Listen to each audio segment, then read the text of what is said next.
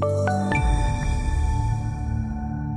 In today's FX markets, I want to focus on the British pound to start the week. Uh, the British pound, the largest mover uh, of the majors today. We're seeing a nice rally in the British pound. Now, we did see the British pound gap open this morning. We saw some buying pressure right out of the gate.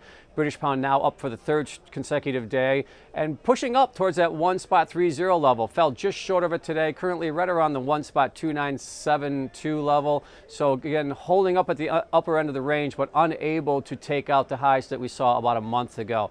And when you look at uh, some of the dynamics in the marketplace today, I think the first thing that was kind of highlighted coming into this morning was the trade situation. We saw the equity markets here in the U.S. react positively initially. We saw the currency markets react positively initially. It's particularly when you look at the British pound. But then that kind of came out of the market, and that's we, when we saw the British pound moderate, really coming off of those highs and finding a trading range for the rest of the day.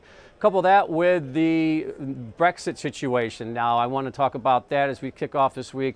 It does appear that Boris Johnson now is getting some traction here. Uh, indications today that the Conservative Party members, excuse me, that are in the snap election, all of them will support his Brexit deal if they are elected, and that's viewed as a positive, uh, I think, in the in the tone of the situation over there. And if we get through these snap elections and Boris Johnson is able to uh, gain a larger uh, majority uh, in the parliament that's viewed as uh, reducing the risk for a no deal Brexit. That's yet to be seen, but that's the perception. I think that's another reason why we see the British pound gaining some traction. Let's look at the trend here to start the week as well. Trend is pushing the British pound back up to those highs versus the dollar, pushing up uh, just shy of the one spot three zero level. Now, we have not taken out the highs that we saw a month ago, and now that the fact that we're stagnating here a little bit this afternoon, I think at least for the short term, uh, there's still some more more work to do from a technical standpoint, but you're certainly seeing the British pound pushing back up to the highs we saw a month ago.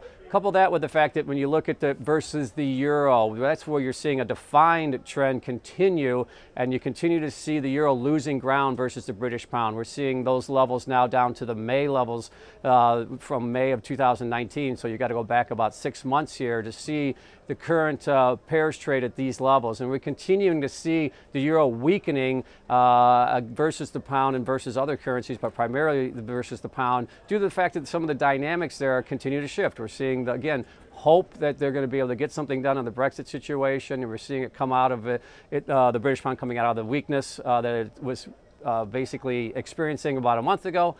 Couple that with the fact that the numbers coming out of the Eurozone continue to still be weak. We had some disappointing numbers from Germany this morning. So again, uh, those two factors are, I think are really playing into the pricing action when you look at the pair trade between the euro and the British pound.